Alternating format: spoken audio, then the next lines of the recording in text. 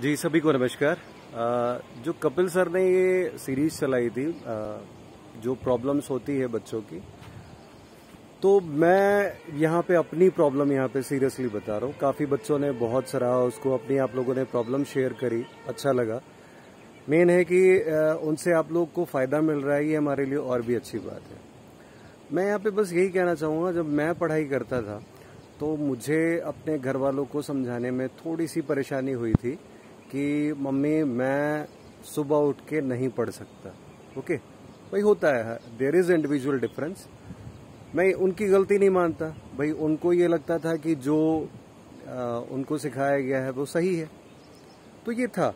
तो मेरी मम्मी क्या करती आ, कि सुबह उठो सुबह उठ के पढ़।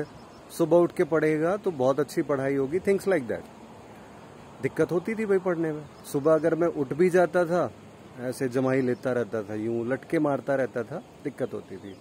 वही अगर कई बार जैसे मम्मी अगर कहीं गई हुई है और इन बिटवीन मैंने रात को पढ़ाई करी तो मेरे से बहुत अच्छी पढ़ाई होती थी।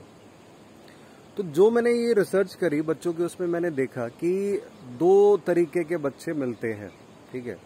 एक वो जो देर रात तक पढ़ाई कर सकते हैं, एक वो जो अर्ली मॉर्निंग उठ के पढ़ाई कर सकते हैं। तो you have to identify yourself कि आप कौन सी प्रकृति के हैं? कौन सी प्रवृत्ति है आपकी? आप उल्लू हो, जो रात को जगना पसंद करते हो, या मुर्गा हो, जो सुबह उठ करके पढ़ना पसंद करते हो? ओके? और फिर आइडेंटिफाई करने के बाद अगर आपके साथ ये परेशानी आ रही है कि आपको भी आपके मदर फादर फोर्स कर रहे हैं कि सुबह उठ करके ही पढ़ाई करो, या रात में मत पढ़ो, या कुछ ऐसी तो इसका सोल्यूशन सिंपल एक निकाला जा सकता है। आप लोग अपने पेरेंट्स के साथ बात करो। ओके? कि मम्मी, आप, या पापा, आपको किस चीज़ से फ़र्क पड़ता है? You want me to score better so I can score better रात में पढ़ाई करके। तो देखो, ऐसा नहीं है कि वो लोग नहीं समझेंगे। मेन चक्कर ये हो जाता है कि हम लोग बात नहीं करते हैं। तो बात करोगे तो चीज़ें सॉर्ट आउट हंड्रेड परसेंट होगी। ओके? थोड़ा मच्छर है यहाँ पे तो इसलिए वो बार बार आ जा रहा है। एनीवेज तो आई होप ये वाली बात आप लोग को बहुत अच्छे से क्लियर हुई होगी। क्योंकि ये हमारे एजुकेशन में एक हिंड्रेंस क्रिएट करता है। तो मैं नहीं चाहता कि किसी भी तरीके की रुकावट किसी भी चीज़ में आपके सिलेक्शन के आड़े आए। Just give your hundred percent अपना हंड्रेड परसेंट दो।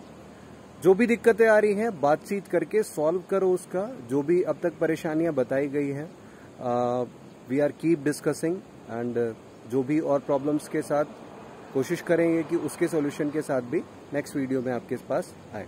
थैंक यू फॉर टुडे ये प्रॉब्लम फेस कर रहे हो या नहीं, या और कोई प्रॉब्लम फेस कर रहे हो कमेंट बॉक्स में ज़रूर मेंशन करो।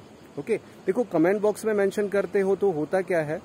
रीजन ये है कि एक ही प्रॉब्लम कई बच्चे भेजते हैं। तो वहाँ पे अगर कमेंट बॉक्स में मेंशन रहता है तो बच्चा ये समझ जाता है कि ये प्रॉब्लम भेजी जा चुकी है। तो वो फिर उसकी रिपीटेशन नहीं होती। चलो ओके थैंक यू एवरीवन जय हिंद, जय भारत.